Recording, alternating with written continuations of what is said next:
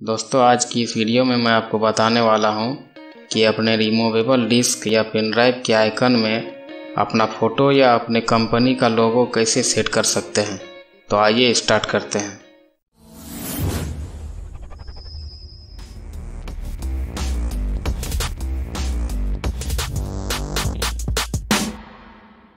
यहाँ आप देख सकते हैं पेन ड्राइव में मैंने ऑलरेडी अपना फ़ोटो लगा रखा है। चलिए पेन ड्राइव को फॉर्मेट कर देते हैं। ताकि ये आइकन रिमूव हो जाए। और फिर से मैं स्टेप बाय स्टेप बता रहा हूँ, बस आप फॉलो करें। यहाँ पे मैंने एक फोल्डर में दो इमेज रखा है, जिसे आइकन के रूप में यूज़ करेंगे।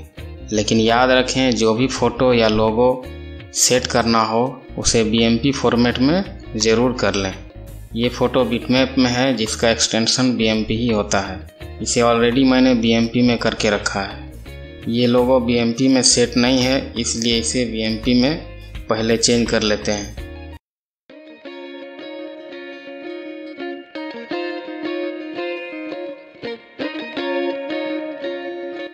चलिए इस फ़ाइल का नाम बी रखते हैं। अब देख सकते हैं ये BMP में कन्वर्ट हो गया है। इसके बाद एक फोल्डर बनाइए। और उसके अंदर उस फ़ोटो या आइकन को रखें, जिसे पेन ड्राइव की आइकन में चेंज करना है। उसके बाद एक टेक्स्ट फ़ाइल लें और उसे ओपन करें और टाइप करें ओपन स्क्वायर ब्रैकेट, इसके बाद ऑटो रन और फिर क्लोज स्क्वायर ब्रैकेट। फिर नीचे लिखें icon equal to A dot B M P यहाँ A dot B M P इसलिए लिखा जा रहा है, क्योंकि जिस फ़ोटो को सेट करना है वो ए नाम से सेव है।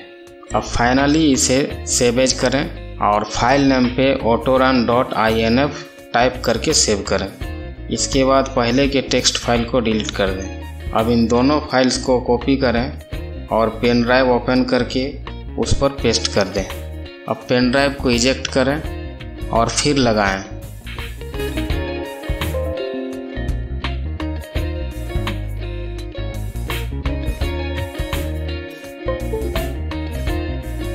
दोस्तों, आप देख सकते हैं यहाँ पेन ड्राइव की आइकन अब फ़ोटो में चेंज हो गई है। आइए अब इस लोगो को भी ट्राई करते हैं। यहाँ पे अब लोगो को रखते हैं और इस ऑटो रन को ओपन करके फ़ाइल नेम ए की जगह अब बी करते हैं और सेव करते हैं।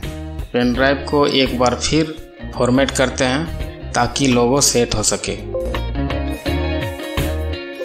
अब इन दोनों फाइल्स को कॉपी करके पेन ड्राइव में पेस्ट करते हैं और पेन ड्राइव को कंप्यूटर से निकाल के फिर से लगा देते हैं। आप देख सकते हैं, फिर से पेन ड्राइव की आइकन अब लोगों की आइकन में चेंज हो गई है। तो दोस्तों, आशा करता हूँ आपको ये वीडियो हमारा पसंद आया हो।